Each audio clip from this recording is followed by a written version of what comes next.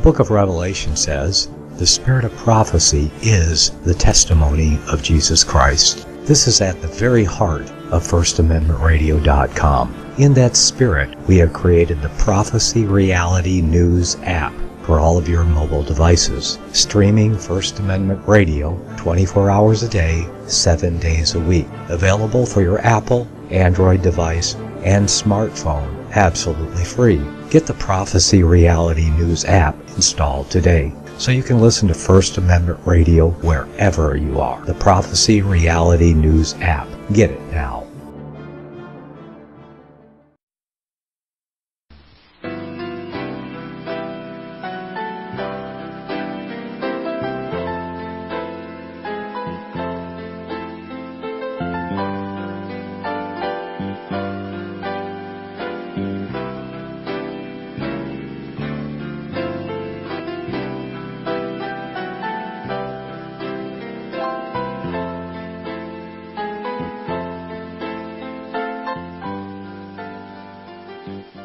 Good morning. Welcome to Inquisition Update. My name's Tom Friess, and I'll be your host for the next hour. And uh, we're going to tell more truth this morning. Going to continue in the book Rulers of Evil by F. Tupper Saussy. We're talking about the formation of the military and intelligence wing of the Roman Catholic Church. The formation of the most powerful, the most militant, the most dangerous, the most occultic, the most controlling institution on the planet today. We're talking specifically about Ignatius Loyola, the Basque Spaniard who founded the Jesuit order in 1540. We're talking about the early formation, the early days. And uh, this particular uh, where we left off yesterday is dated uh, in 1534. It's uh, it says um, on August 5th, uh, 15th, 1534, feast day of the Assumption of the Virgin into heaven, the companions swore oaths of service to the Blessed Virgin in St. Marie's Church at Montmartre, and to St. Denis, patron, patron saint of France, in his chapel. Now, first of all, the Bible doesn't even doesn't even uh, discuss the death of Mary, the mother of Jesus, and it is a complete and total contravention of man, a diabolical tradition of man, the diabolical teaching of the Roman Catholic Church about this bodily assumption of the Virgin Mary into heaven. She did not experience, after she died, a death of which, of course, and I'm repeating myself, is not even recorded in the scriptures. God's people are not to be concerned about Mary. But the Roman Catholic Church is all concerned about Mary. And so was Ignatius Loyola. And he dedicated his, uh, his order to the Virgin Mary. And, uh, this so-called Queen of Heaven. And if you wanna, if you have a Bible program on your computer, just, just, uh, just type in Queen of Heaven and see that she is universally condemned in the scripture. It was an ancient pagan uh, equivalent to Semiramis, the ever virgin queen of the idolater and the first recorded sinner uh, right after the flood, who built the cities in the plains and kept the people captive and taught them to worship the sun and the moon and the stars. This virgin that is celebrated by the Roman Catholic Church is occultic. It's paganism. And it's a lie. Now, it says on August 15, 1534, on this assumed abominable feast day of the Assumption of, Vir- of the Virgin into heaven, the companions swore oaths of service to the Blessed Virgin in St. Mary's Church at Montmartre, and St. Denis, patron saint of France, in his chapel. And in parentheses, the author writes, the experience of the Mar- Montmartre oaths must have been intense for Francis Xavier, who would become St. Francis in the Roman Catholic Church, apostle to the East, he is known as, made the spiritual exercises with a quote unquote penitential fervor, says historian Brodrick in Origin of the Jesuits. He says that nearly cost him the use of his limbs. So, uh, this, uh, this, uh, idolatrous pagan practice of, uh, of self, uh, flagellation and, uh, and that sort of thing we see so typical in the fervent Roman Catholics was demonstrated by Xavier, Francis Xavier, one of the original uh, members of the Jesuit order. He continues now, he says, they vowed poverty, chastity, chastity, and to rescue Jerusalem from the Muslims. Jerusalem is all important to the Roman Catholic Church. They must possess Roman, uh, they must possess Jerusalem.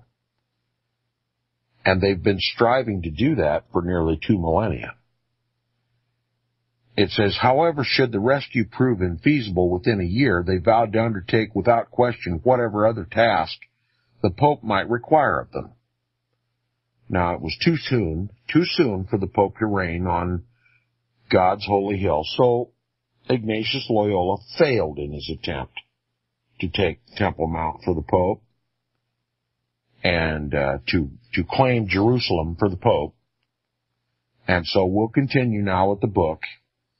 It says, well before a year had passed, Clement the Seventh died, and the Jerusalem dream was overwhelmed by more present dangers. Luther's Bible in German was created uh, was creating defection in record numbers throughout Germany, Norway, Sweden, and Denmark. Remember, the Protestant Reformation was fueled by the fact that the people had the Bible in their own language, could read it for themselves. And when they read it for themselves, their eyes were opened. That the Roman Catholic Church was that woman riding the scarlet colored beast of Revelation chapter 17 to whom all the kings of the earth paid homage. They were drunk with the wine of that fornication, that illegal uh, intercourse between the kings of the earth and the papacy. And they fled the Roman Catholic Church in droves. For the first time in, in, in Roman history, the Roman Catholic Church was truly threatened. And it was simply because the people were reading God's Word for themselves. It says Luther's Bible in German was creating defection from the Roman Catholic Church in record numbers throughout Germany, Norway, Sweden, and Denmark. In France, the response to Lefebvre's Bible was so decisive that King Francis I exclaimed that he would behead his own children if he found them harboring the blasphemous heresies acquirable through direct contact with the scripture. That's right. He'd behead his own kids if he found them reading the Bible or holding to any of the heresies of the Bible. Heresies of the Bible.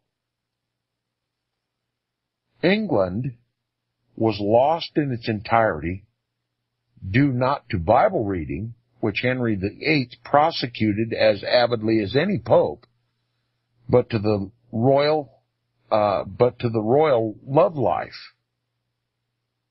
Henry had demanded that Clement VII grant him a divorce from the emperor's aunt Catherine, and then recognized the Protestant-oriented Anne Boleyn as his new queen. When Clement stood mute, Henry took all of England away from Rome and made himself complete owner of the lands and tenements of England as well at law as in equity. So here we have an, an, an adulterous king, Henry VIII, who sought an annulment of his marriage. and an approval from the Pope to remarry. And it was not granted by the Pope, so there came a, uh, well, let's just put it this way. King Henry was going to keep his divine right to rule, rule England, but he was going to kick the Pope out of his life. And so there became this tete-a-tete, this, this feud, this little tiff between Henry VIII and the Pope. And so the, the Vatican viewed Henry VIII as an apostate and having usurped or thrown off the chains of Rome, uh, he was still uh, wholly corrupted by the Catholic faith. Anyway, Clement the Seventh was succeeded by the oldest cardinal, an erudite humanist with formidable diplomatic skills, 66-year-old Alessandro Farnese. Cardinal Farnese had been privately educated in the household of Lorenzo de' Medici and had been appointed treasurer of the Vatican in 1492. He was crowned Pope Paul III. Vatican wags called Farnese Cardinal Petticoat because his strikingly beautiful sister, uh, Julia, had been mistress to the licentious Pope Alexander VI for which some wags named her Bride of Christ. Julia posed undraped for the statue of the goddess Justice that still reclines voluptuously on Pope Paul III's tomb in St. Peter's Basilica. Two centuries later, at the command, uh, at the command, the interests of decency of Pope Pius IX, the first pope to be officially declared infallible, Julia's exposed breasts were fitted with a metal blouse. Paul III is a major figure in the history of the Society of Jesus and consequently of the United States of America, since it was he who approved in the summer of 1539 Ignatius of Loyola's business plan. Ignatius proposed a minimal society that would do battle in the Lord God's service under the banner of the cross. The militia would be very small, no more than 60 members, and each would have to take four vows poverty, chastity, obedience to the church, and a vow of special obedience to the Pope. They would not be confined to any specific parish, but would be dispersed throughout the world according to the papacy's needs. They would wear no particular habit, but would dress according to the environment in which they found themselves. And I'll just tell you so that they could blend in and not be discovered. Remember? This is the military and intelligence wing of the Roman Catholic Church. Anonymity is important. Their work is a military mission. And their discovery was not to be known generally. He says they would infiltrate the world in an unpredictable variety of pursuits as doctors, lawyers, authors, reformed, uh, reforming theologians. That's where we get um, Francisco Ribera and uh, and Alcazar, the uh, the twisted doctrinal teachings uh, called futurism and preterism. They were to be financiers, statesmen, courtiers, diplomats, explorers, tradesmen, merchants, poets, scholars, scientists, architects, engineers, artists, printers, philosophers, and whatever else the world might demand and the church require. So they could put on all of these put on all of these um, these occupations and use those occupations to gather influence. And uh, that's the stock and trade of the Jesuit order. Infiltration, blending in with the environment and becoming prominent in their field of endeavor and using their opportunity to serve the church in whatever way possible. The end justifies the means, remember. He continues, he says, their head would be a superior general.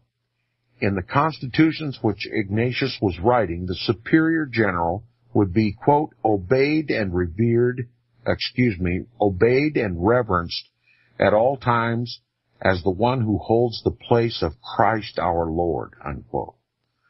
So, like the Pope, the Black Pope arrogates to himself the power and authority of Christ himself.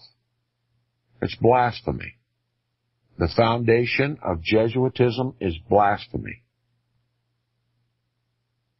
The phrase holds the place of Christ means that the superior general would share with the Pope at a level unperceived by the general public the divine title of Vicar of Christ. In other words, replacement of Christ.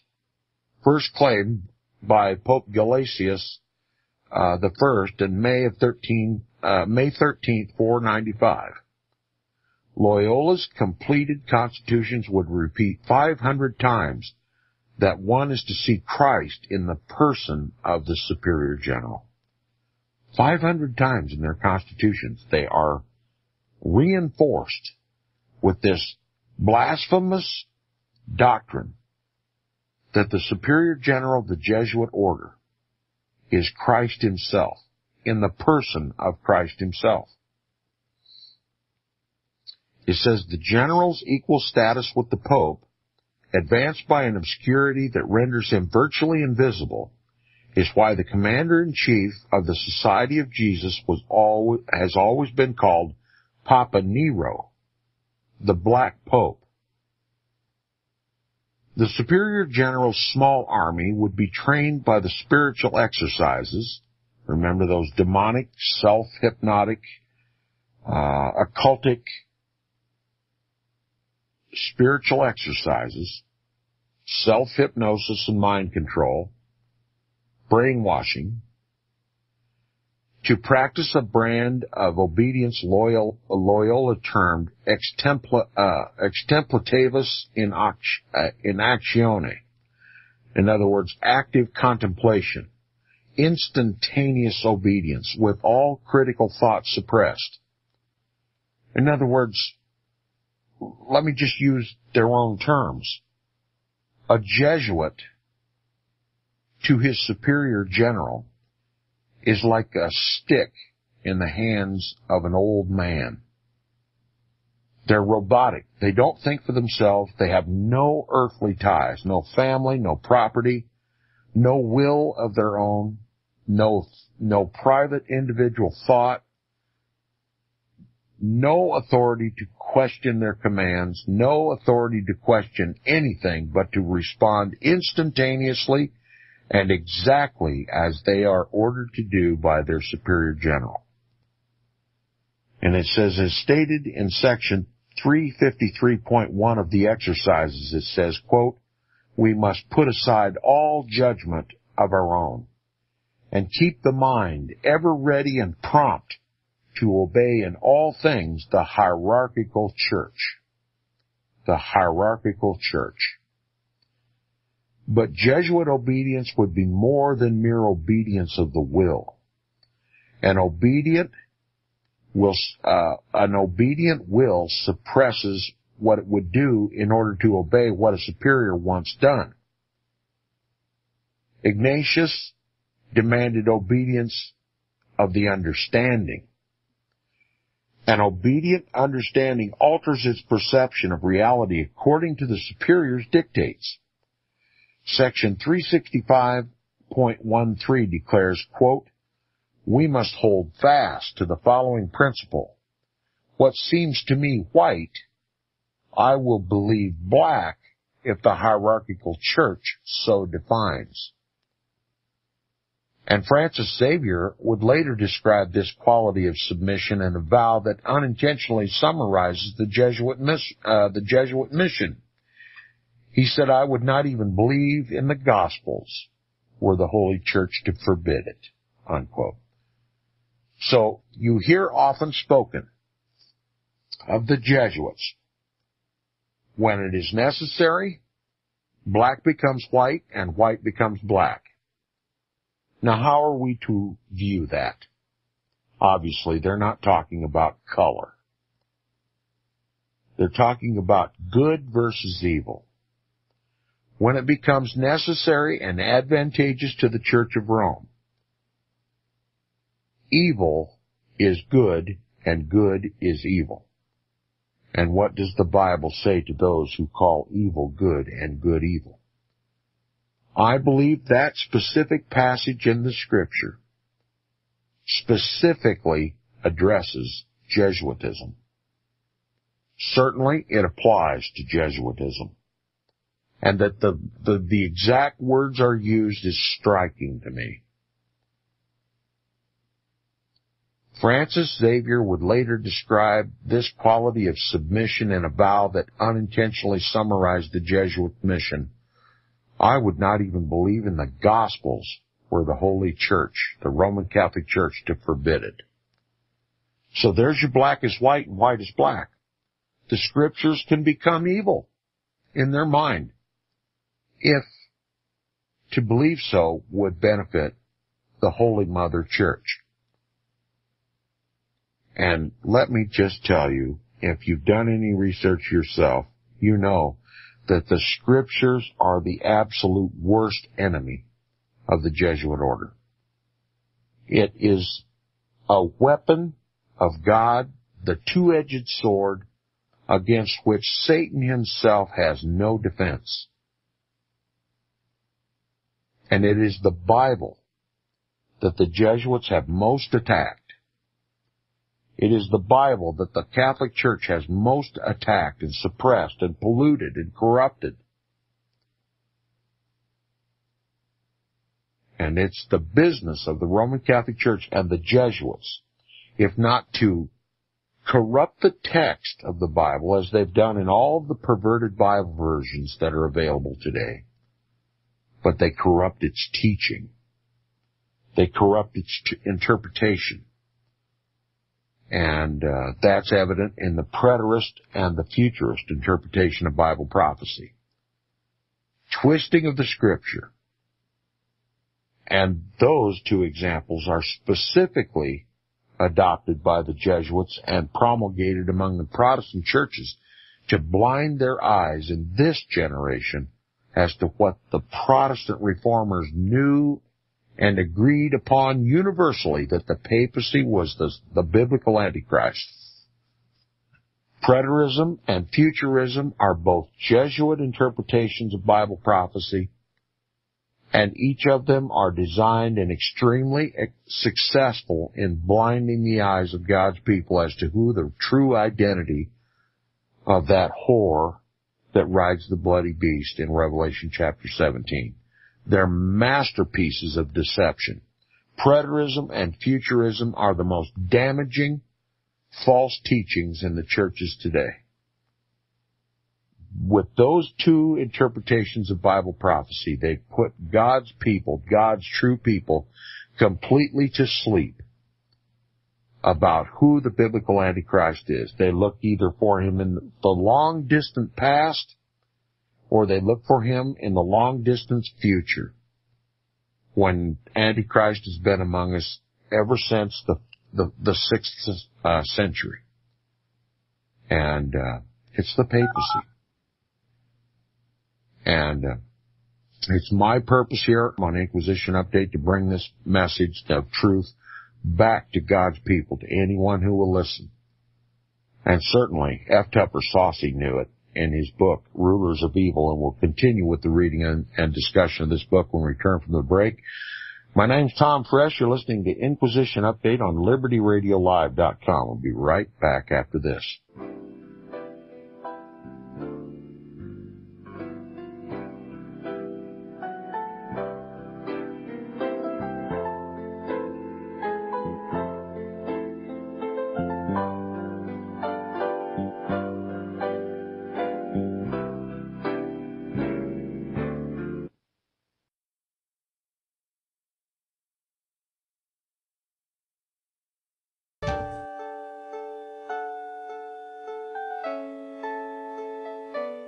The program you are listening to is 100% sponsored by you, the listener, on this First Amendment Rights Media channel.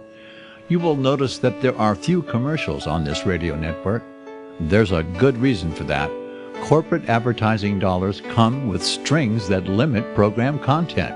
So without your help, these programs cannot continue on internet or our several affiliates. If you benefit by the educational law programs, we ask you to give. If you are admonished or nurtured by the Bible and ministry programs, we ask you to give.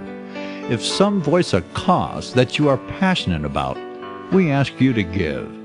If you believe in any of these, we ask you to support them as you would a missionary on a continual basis, as if giving a tithe for missionary radio. These programs are not commercially viable and must be supported by those faithful to the cause of truth look for the button to sponsor your favorite programs at our listen and schedule pages on the internet. Then, when you subscribe, we will send you the last quarterly MP3 CD of that program immediately and continue to do so with each new quarter. We will also give you unlimited archive access to all of our programs. We're asking you to give much less than a tithe so that you may also send support directly to a particular program host cause, and anywhere else the Spirit may lead you. Do all to the glory of our God and Creator, for His holy nation, the only kingdom that will last forever. Thank you for listening.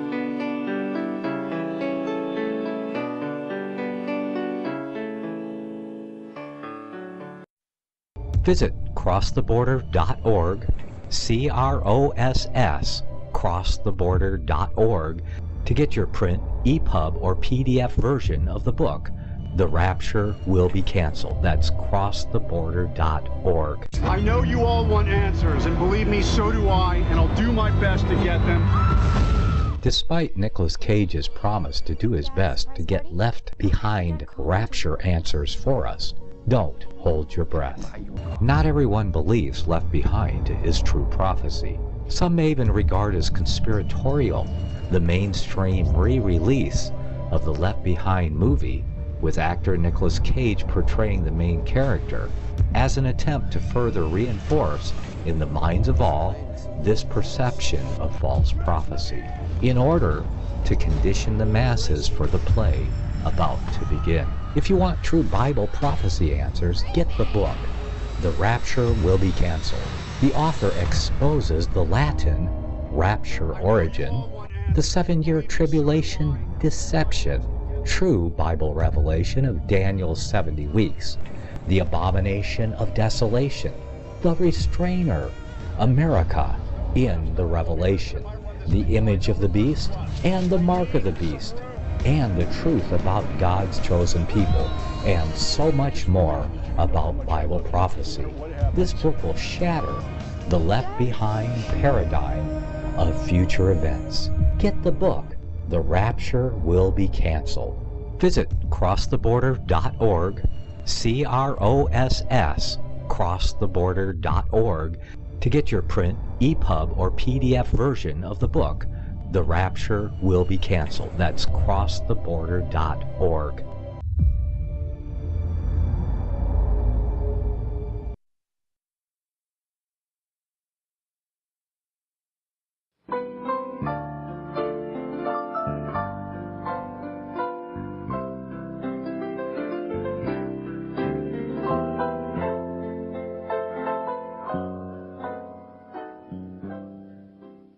Welcome back to the second half hour of Inquisition Update. If you'd like to sponsor Inquisition Update and help keep this broadcast on the air, send a note to Nicklas with a contribution.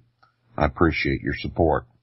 Now, we're turning to the book, uh, Rulers of Evil by F. Tupper Saussy in our discussion about the Jesuit order. It says, the society does not open its extreme oath of obedience to the public inspection. However, a transcript alleged to be a true facsimile was translated by Edwin A. Sherman and deposited in the Library of Congress of the United States with the number BX3705.S56. According to this document, now listen carefully, this is the extreme oath of the Jesuits. It's been a while since we've talked about this, and it's nice to review this every now and then. And uh, we're do- we're doing so because it's part of this book. That's why I highly recommend this book. It says when a Jesuit of the minor rank is elevated to command, he is conducted into the chapel of the convent of the order, where there are three others present.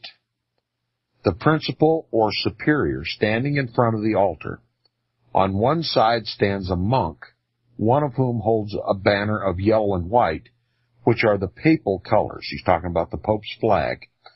And the other, a black banner with a dagger and red cross above a skull and crossbones with the initials INRI. And below them the words, Ajustum Necker Regis Impius, the meaning of which is, listen carefully, it is just to annihilate impious rulers. Okay. Biblically, these initials represent the Roman inscription above Christ's head on the cross. Jesus of Nazareth, King of the Jews. But the, you know, the INRI is normally affixed to a placard above every crucifix. And according to the Jesuit oath, INRI means it is just to annihilate impious kings and rulers and governments. And Christ indeed was a king, a ruler, and a government. And over every crucifix, when you see that placard, in the Jesuits' eyes, it's gloating over the, the crucifixion and death of Christ. Now it may sh- sound shocking to some people, but nonetheless it's true. Christ is the Jesuit's worst enemy, and so is his word, the Bible. Continuing now with the oath, it says, on the floor is a red cross upon which the, uh, the postulant or candidate kneels. The superior hands him a small black crucifix, which he takes in his left hand and presses to his heart, and the superior at the same time presents him a dagger, which he grasps by the blade and holds the point against his heart. The superior still holding, uh, still holding the dagger by its hilt. The superior gives a preamble and then administers the oath. I, and then he, the, the postulant states his name, now in the presence of Almighty God, the Blessed Virgin Mary, the Blessed Michael, the Archangel, the Blessed Saint Paul, and all the saints and sacred hosts of heaven, and to you, my ghostly father, the Superior General of the Society of Jesus, founded by Ignatius Loyola in the pontificate of Paul III, and continued to the present, do by the womb of the Virgin Mary, the matrix of God and the rod of Jesus Christ, declare and swear that His Holiness the Pope is Christ's vicegerent and is the true and only head of the Catholic and universal church throughout the earth, and that by virtue of the keys of binding and loosing, given to His Holiness by my Savior Jesus Christ, he hath power to depose heretical kings, princes, states, commonwealths, and governments, all being illegal without his sacred confirmation, and that they may be safely destroyed. Therefore, to the utmost of my power, I shall and will defend this doctrine and his holiness's right and custom against all usurpers of the heretical or Protestant authority, whatever especially the Lutheran Church of Germany, Holland, Denmark, Sweden, and Norway, and the now pretended authority of the churches of England and Scotland, and branches of the same now established in Ireland and on the continent of America and elsewhere, and all adherents in regard that they be usurped and heretical, opposing the sacred Mother Church of Rome. I do now renounce and disown any allegiance as due to any heretical king, prince, or state named Protestant or liberals, or obedience to any of their laws, magistrates, or officers. I do further declare that the doctrines of the churches of England and Scotland, of the Calvinists, Huguenots, and others of the name Protestant or liberals be damnable, and they, they themselves be damned, and to be damned, who will not forsake the same. I do further declare that I will help, assist, and advise all or any of His Holiness's agents in any place wherever I shall be in Switzerland, Germany, Holland, Denmark, Sweden, Norway, England, Ireland, or America, or in any other kingdom or territory I shall come to, and do my uttermost to extirpate the heretical Protestants or liberals' doctrines, and to destroy all their pretended powers regal or otherwise. I do further promise and declare that notwithstanding I am dispensed with, to assume any religion heretical for the propagating of the Mother Church's interests, to keep secret and private all her agents' counsels from time to time, as they may be entrusted to me, and not to divulge, directly or indirectly, by word, writing, or circumstance whatever, but to execute all that shall be proposed, given in charge, or discovered unto me by you, my ghostly father, or any of this sacred convent. I do further promise and declare that I will have no opinion or will of my own, or any mental reservation whatever, even as a corpse or a cadaver, but will unhesitatingly obey each and every command that I may receive from my superiors in the militia of the Pope and of Jesus Christ. That I will go to any part of the world, whithersoever I may be sent, to the frozen regions of the north, to the burning sands of the desert of, of Africa, or the jungles of India, to the centers of civilization of Europe, or to the wild haunts of the barbarous savages of America, without murmuring or repining, and will be submissive in all things whatsoever communicated to me. I further promise and declare that I will, when opportunity presents, make and wage relentless war, secretly or openly against all heretics, Protestants, and liberals, as I am directed to do, to extirpate and to exterminate them from the face of the whole earth, and that I will spare neither age, sex, or condition, and that I will hang, burn, waste, boil, flay, strangle, and bury alive these infamous heretics, rip up the stomachs of the wombs of their women, and crush their infants' heads against the walls in order to annihilate forever their execrable race. That when the same cannot be done openly, I will secretly use the poison cup the strangulation cord, the steel of the poniard, or the leaden bullet, regardless of the honor, rank, dignity, or authority of the person or persons, whatever may be their condition in life, either public or private, as I at any time may be directed to do by any agent of the Pope or Superior of the Brotherhood of the Holy Faith of the Society of Jesus in confirmation of which I hereby dedicate my life, my soul, and all my corporeal powers. And with this dagger which I now receive, I will subscribe my name written in my own blood in testimony thereof. And should I, and should I prove false or weakened in my determination, may my brethren and fellow soldiers of the militia of the Pope cut off my hands and my feet, and my throat from ear to ear, my belly opened, and sulphur burned therein, with all the punishment that can be inflicted upon me on earth, and my soul be tortured by demons in an eternal hell forever. All of which I, and he states his name again, do swear by the blessed Trinity and blessed sacrament, which I am now to receive to perform on my part to keep inviolably and do call all the heavenly and glorious hosts of heaven to witness these my real intentions to keep this my oath.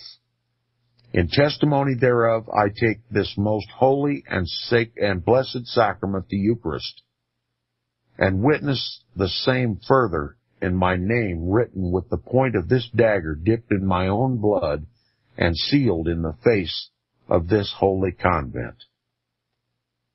And with this he received the wafer from the superior and writes his name with the point of the dagger dipped in his own blood taken from over his heart. That is the extreme oath of a Jesuit. They are committed to extirpate heresy from off the earth. Whatever the Roman Catholic Church, whatever the Jesuit general declares as heresy, it's to be destroyed. And they use any means necessary. Bible believers, those who hold to the written word of God, the scriptures, are their worst enemy. And it is they who they have sought for nigh unto 500 now, uh, 500 years now to extirpate, to completely eradicate from off the planet. Now, we've never seen, or at least not to our ability to recognize that kind of religious persecution in this country. But we soon will. A bloodletting in this country the likes of which no one could ever even conceive that could ever happen in good old USA. But Rome's got control of our government now. And there's a Holy Roman Inquisition coming to Protestant America. And that's why this program is called Inquisition Update. When Ignatius concluded his presentation, the Pope reportedly cried out, Hoc est digitus Dei, this is the finger stroke of God. On September 27, 1540, Paul III sealed his approval of the highest and most solemn form of papal pronouncement, a document known as a bull, from the Latin bulla, which means bubble, denoting the attached ovoid or circular seal bearing the Pope's name.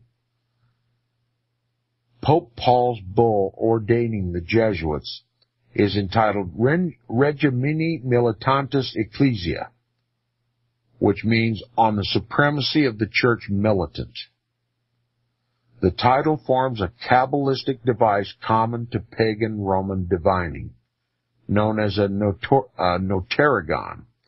This device is an acronym that enhances the meaning of its in- initialized words in the way MAD tells us that mothers against drunk driving are more than against drunk drivers. They're very angry. Regimini Militantis Ecclesia produces the Notarikon Rome, the empire whose salvation the Society of Jesus was ordained by this bull to secure through the arts of war. The following April, the original six and a few other members elected Ignatius of Loyola their first superior general.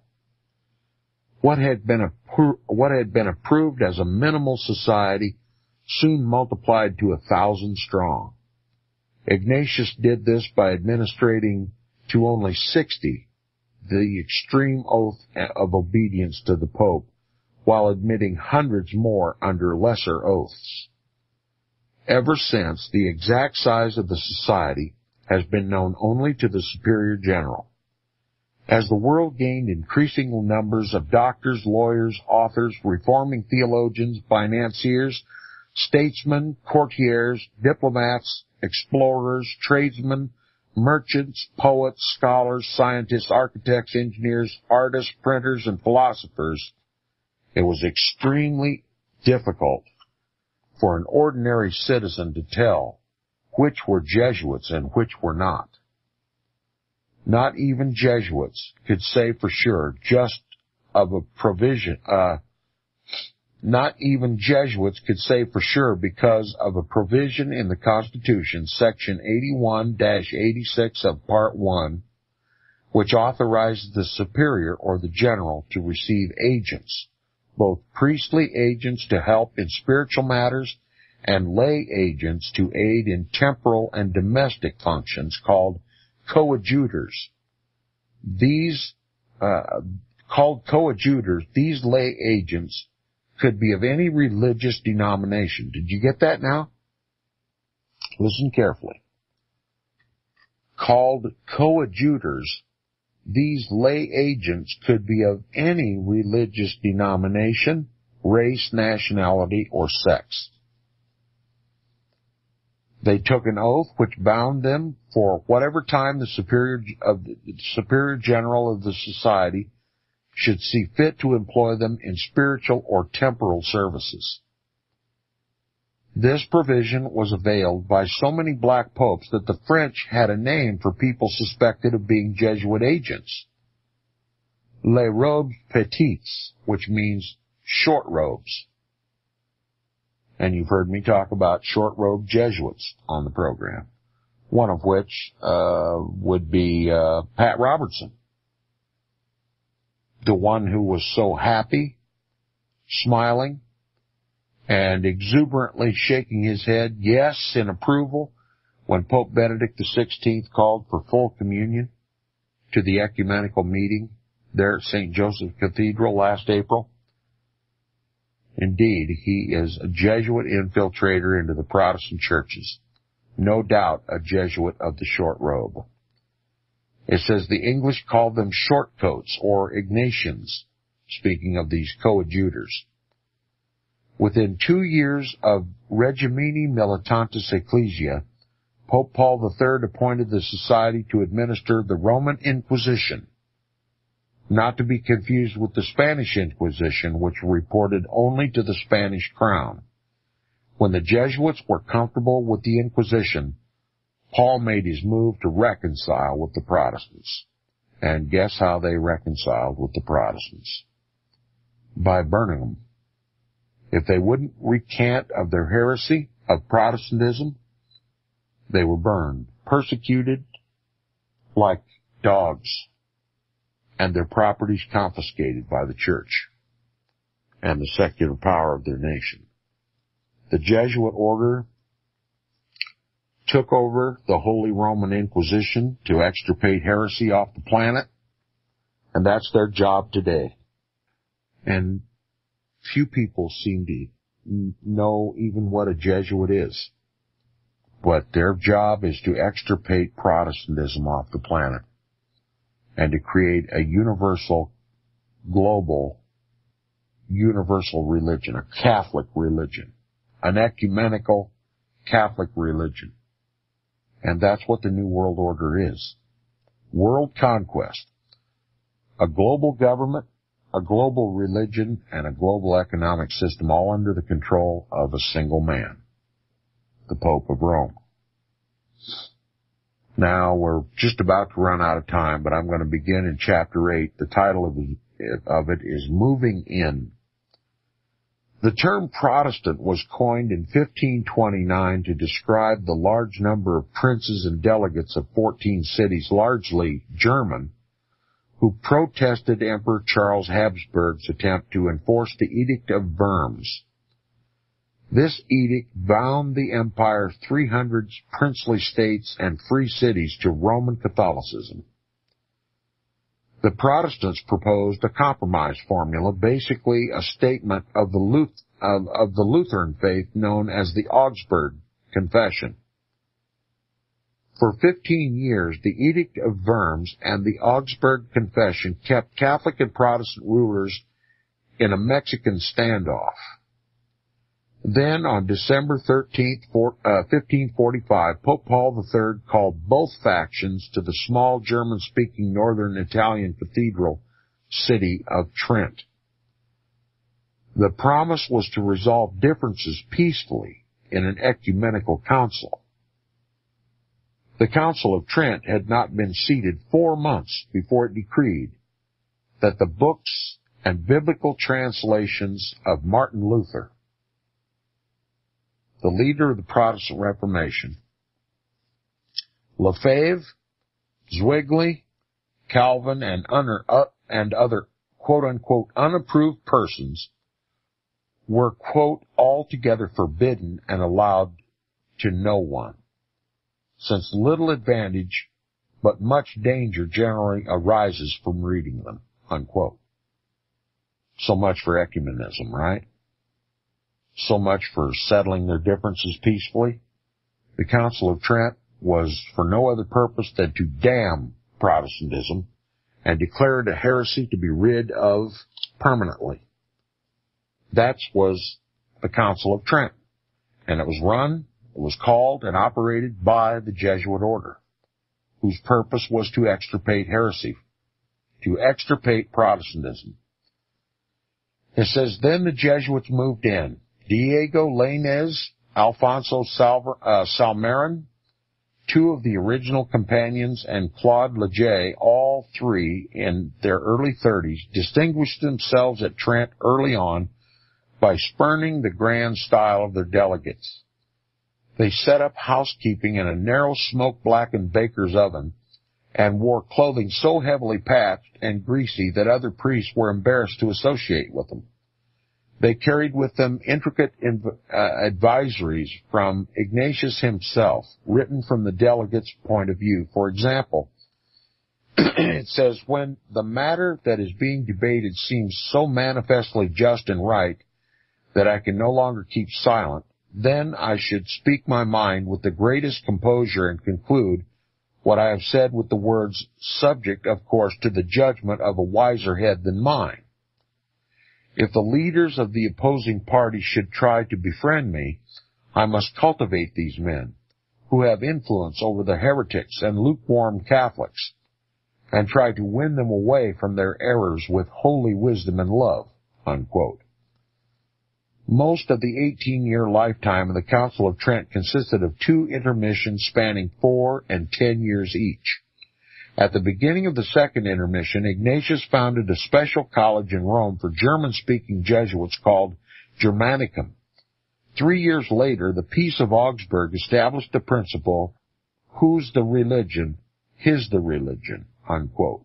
The Peace of Augsburg was Jesuit pay dirt. They could now bring whole populations to Rome simply by winning over a few princes. And so they did. In 1560, the society had returned virtually all of the southern Germany and Austria to the Roman Catholic Church. And we'll continue with this reading in the book Rulers of Evil by F. Tupper Saussy to discover what the Jesuit order is all about on the broadcast tomorrow. Stay tuned for Nicklas Arthur and Cross the Border.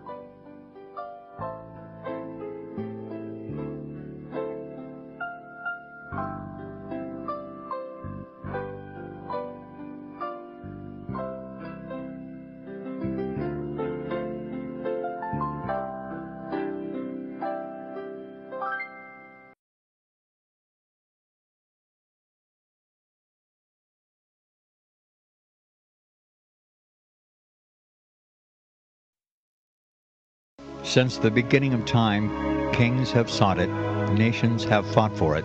It has been traded, it has been borrowed, it has been purchased, it has been stolen. There's a reason for it. To secure the blessings of liberty to ourselves and to our posterity, invest with the security of gold and silver. Call Discount Gold and Silver Trading at 1 800 375 4188 or visit discountgoldandsilvertrading.net. Listen to Financial Survival with your host, Melody Cedarstrom, right here on FirstAmendmentRadio.com at 4 p.m. Eastern or 1 p.m. Pacific Time. Visit DiscountGoldandSilverTrading.net or call Discount Gold and Silver Trading at 1 800 375 4188. Toll free 1 800 375 4188.